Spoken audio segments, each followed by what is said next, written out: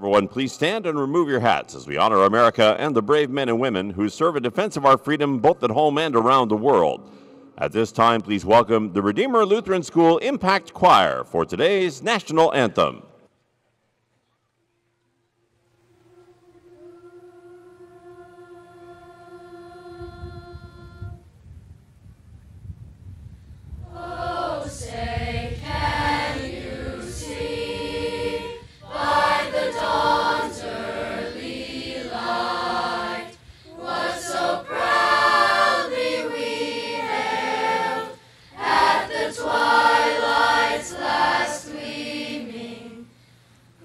Spatra.